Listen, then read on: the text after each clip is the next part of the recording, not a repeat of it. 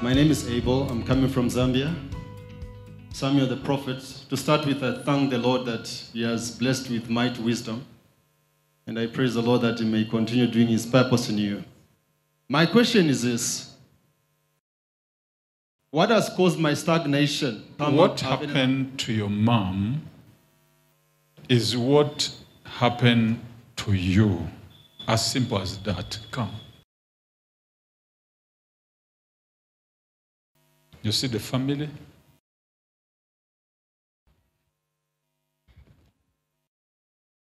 I confirm that. The relationship between um, your father and your mom was rejected. I confirm that.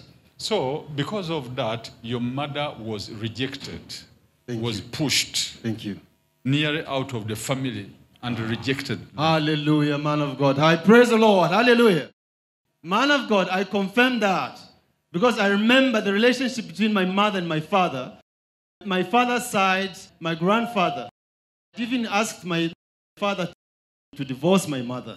She was really deeply hated from the family of my father. Before she died, my mother had a very strong negative effect on me. If now you gauge and see the same years your mom was pushed out, blah, blah, blah, did all that, you can see that the same years equally you started this hatred and being pushed this way and the other. I praise the Lord. That is very true. And Your word is confirmed very true. And if you look at your mom and yourself, it is only that you are putting on a trouser. I don't say you're a woman, but Hallelujah. I confirm that, man of God. My mother was exactly a lady in me. yes. I look, resemble exactly my mother. Yes. Because these things were mingled with witchcraft, with uh, slaughtering animals. You too, in the dream, you could see some. you fear even to slaughter chicken or whatever. You say, oh, no, no, no, no, no. Even to see blood. Yes, I confirm the fears that you are talking about, the fear of blood. I don't even want to kill a chicken. I don't want to see blood. I had a dream. When I'm sleeping, it's like I'm tied on the bed. And then blood started falling, falling on me. So physically, when I see blood, it reminds me of that dream. The father was so highly feared because I had carried a lot of witchcraft in him. Because of the animal, they were slaughtering so many. So now you are experiencing what your mom experienced. You don't know what to do. The friends, they just leave you like a dad. You say, hey, but um, yet you're a very intelligent man. Praise the Lord. That is very true. When I started the business in South Africa, it was very successful. Very successful. And I employed so many people. I got married there, man of God.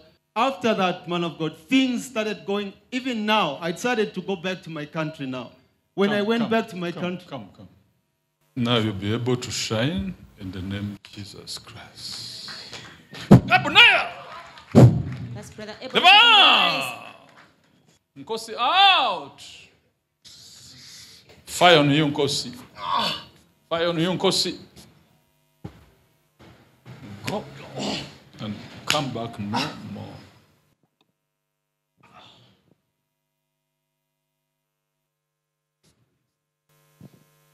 Have your peace. Have your peace. Have your peace. In Jesus' name. Raise up.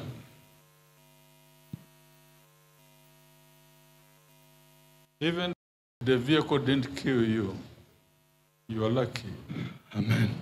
That vehicle was to kill you. Yes, man. Everybody say, yeah! But That is very true. The man is alive.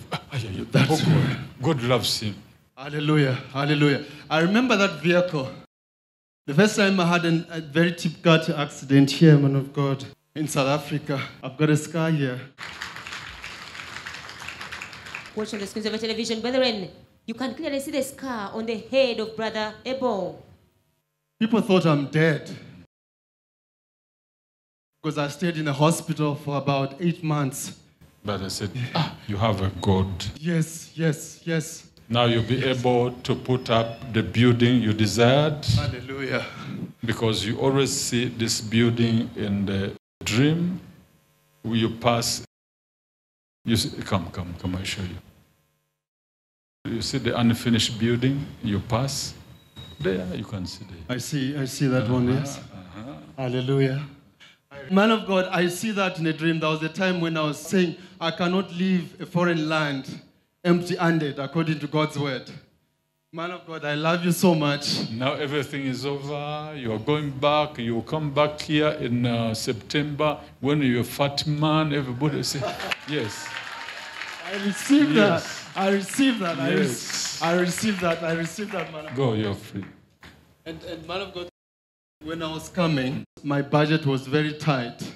When I was coming, I came through uh, Botswana, Zambia, and then Tanzania. When I was in Dodoma, people just they robbed me. They took the money, Yeah, and then I got stranded. That's not a big deal. Yes, man of God. Office gave me $800, I gave him. You can go back.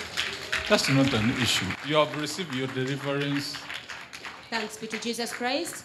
This is the $800. Now you can go back to your country. You're coming back in September to give your testimony. Go, you're free. I praise the Lord. Thank you, Jesus. Thank you, Holy Spirit. Amen. Thank you, Jesus.